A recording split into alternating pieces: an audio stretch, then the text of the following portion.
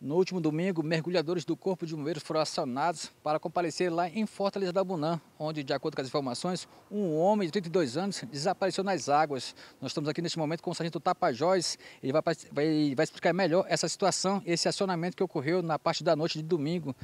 Tudo bem, comandante? Como é que foi a situação, comandante? Bom dia.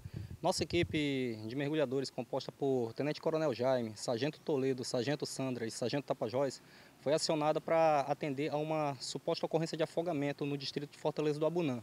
Quantos quilômetros daqui de Porto Velho? Aproximadamente 350. Né? Distante, né, comandante? É, mais ou menos certo. isso aí. Uhum.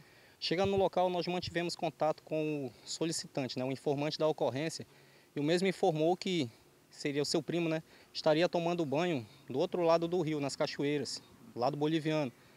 Quando o mesmo resolveu ir buscá-lo, só que chegando no local já não viu mais o mesmo, entendeu?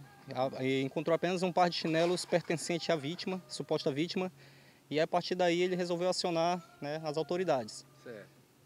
Aí no período do dia, né? Aí o acionamento foi na, na parte da noite já do, do domingo. Sim, o, o, o, acionamento ocorreu no, na tarde de domingo por volta das 16h30 e o nosso acionamento se deu apenas no, na segunda-feira às 18 horas. Viu? Ah, Aí preparamos todo o material e deslocamos na, na terça-feira de manhã, certo. chegando no local por volta das 11h30 da manhã.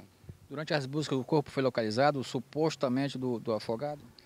Negativo, a gente fez é, buscas, né, onde ele supostamente estaria, né, fizemos mergulhos próximo à região da cachoeira ali, mergulhos é, subaquáticos, né, e logo após isso a gente fez busca fluvial no dia seguinte, porque como ele teria supostamente se afogado no domingo, já se passaria 72 horas. Ou seja, o prazo já para que ele, se houvesse afogado, viesse a boiar. Entendeu? Submergir, né? Fizemos várias buscas, tanto quanto buscas fluviais e nada encontrado. Qual o nome da, da suposta vítima? O seu primo é, informou para a gente que o nome dele seria Josley de Oliveira. Entendeu? Então, a princípio... É que, desculpe. Uhum. Inclusive é o nome que está no registro de, ocorrência, né? Registrado na Polícia Civil de Vista Alegre. Certo. É, comandante, então as buscas se encerraram na quarta-feira, né?